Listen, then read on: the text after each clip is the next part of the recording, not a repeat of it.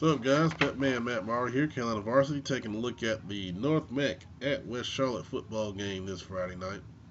Um, some interesting game here. Um, I think West Charlotte can look at this as a winnable game. Uh, for North Meck, your key um, against A.O. Brown, they gave up eight sacks and they had trouble stopping the run. So everyone keys on Emmanuel Wilson. He's a hell of a talent, but in a game like this, I think you have got to find a way to pass protect better for Kevin Anderson and let him throw the ball to some talented guys on the outside.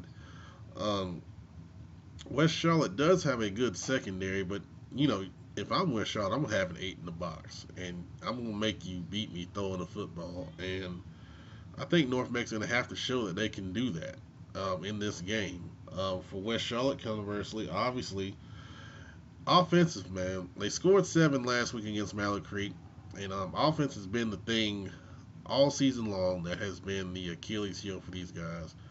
They've got the talent. Um, they changed coaches. Um, they changed some uh, things system wise. So hopefully that can open up the offense. And I think they're going to have opportunity here against North Meck. But they got to make it happen on offense. That's the only way they're going to pull this upset. I don't think they're going to be able to hold North Meck down to um, enough points to where um, they can only win with maybe 10 or 14 points. They're gonna. This game's going to be in the 20s. You know, West Charlotte's going to have to get the offense going to get that done.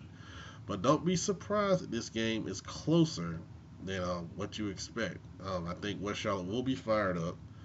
Um, they'll be at home, and it's going to be against an opponent that um, has struggled some uh, this season. So they're going to feel like they're going to have a chance here. So North Meck, you got to come out and you got to kill their hope in the first half because if you let them hang around, you're going to find yourself in a dogfight. Um, so should be a good game at West Charlotte. Uh, traditional rivalry, uh, big time. Uh, these schools go back a long time for playing each other. Traditional Charlotte high schools, and um, got a lot of history. So hopefully there'll be a nice crowd out there. And um, you guys enjoy the game. Let us know what you see. Uh, appreciate you watching. Thanks a lot.